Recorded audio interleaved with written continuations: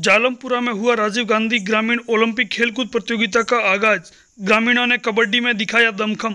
साइलाव खंड के ग्राम पंचायत जालमपुरा के राजकीय उच्च माध्यमिक विद्यालय के खेल मैदान में राजीव गांधी ग्रामीण ओलंपिक खेलकूद प्रतियोगिता का शुभारंभ सोमवार को सरपंच लीलाराम चौधरी के मुख्य अतिथि व प्रधानाचार्य प्रीतम सिंह की अध्यक्षता में हुआ। बतौर विशिष्ट अतिथि के नाते पुलिस कांस्टेबल वीरम सिंह राजपुरोहित व सुखदेव सिंह दहीवा मौजूद रहे। खेलकूद प्रतियोगिता का ध्वजारोहण कर उद्घाटन किया गया। प्रतियोगिता में उद्घाटन मैच जालमपुरा के ग्रामीणों की कबड्डी प्रतियोगिता से हुआ। प्रतियोगिता का उद्घाटन नारियल फोड़कर किया गया, जिसमें सरपंच लीलाराम की टीम विजय हुई। ग्रामीणों की कबड्डी प्रतियोगिता का दमखम देखने लायक था। उसके बाद विद्यार्थियों ने प्रतियोगिता में भाग लिया। कार्यक्रम के दौरान सांस्कृतिक कार्यक्रम में बालिकाओं ने एक से बढ़कर एक शानदार नृत्य की प्रस्तुतियाँ दी। इस दौरान मेगाराम, हाजाराम प्रखाराम रुगनाथाराम कल्याण सिंह, गेवाराम, प्रकाश कुमार विश्नोई सहित कई ग्रामीण व छात्र छात्राएँ मौजूद थे।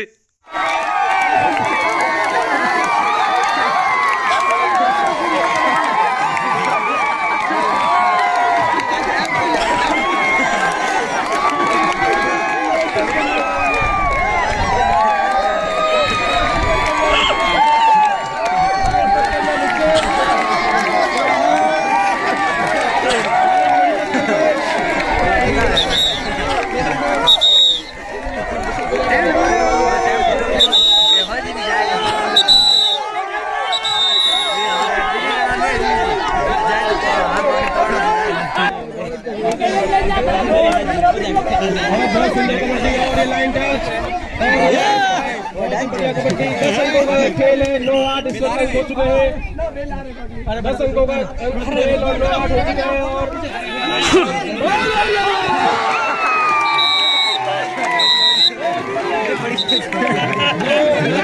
बहुत बढ़िया कबड्डी मैदान पूरा खाली बहुत अच्छी लाइन टच की। कल्याण सिंह जी पूरा रास्ता साफ़ मिला। लाइन टच करने में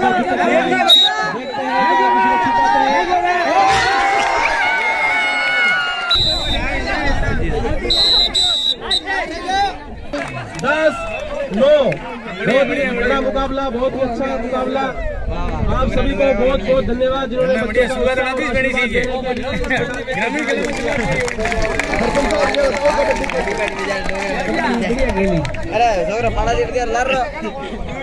बड़े बुज़ुर्गों को कुछ बोलना चाहते हो?